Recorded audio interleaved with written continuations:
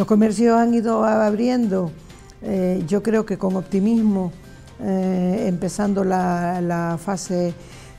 1 que, estamos, bueno, pues acabamos de abandonar y que están pues teniendo un resultado mm, relativamente optimista. Y digo relativamente optimista porque pasamos de un cierre que les ha producido muchas pérdidas y nos encontramos con una apertura en un momento incierto económicamente. Pero creo que la gente está respondiendo, nuestros vecinos y vecinas están respondiendo con el comercio local y, eh, yo además eh, insto a todos a que respondamos hacia ese comercio, que es el que ha estado al pie del cañón en este momento duro.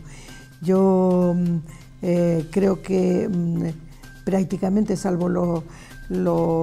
eh, establecimientos eh, hosteleros, están abiertos todos con sus um, normas actuales de un poco de restricción,